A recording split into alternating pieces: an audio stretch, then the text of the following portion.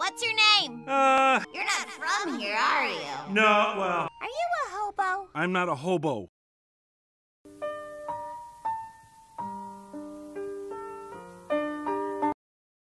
He's a hobo now. He's not a fucking hobo.